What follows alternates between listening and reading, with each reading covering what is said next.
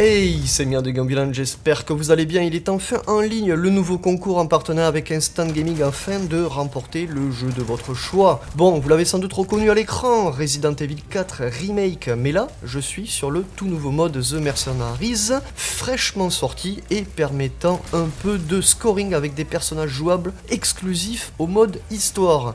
Et pourquoi pas donc gagner ce Resident Evil 4 avec le concours du mois d'avril pour participer, vous cliquez sur le lien en description et vous arrivez sur le site du concours chez mon partenaire Instant Gaming. Vous devez vous inscrire sur le site si ce n'est déjà fait. Vous cliquez ici sur participer et c'est bon, c'est validé. Afin d'augmenter vos chances de gagner, vous avez la possibilité et non l'obligation de suivre tous les réseaux sociaux proposés.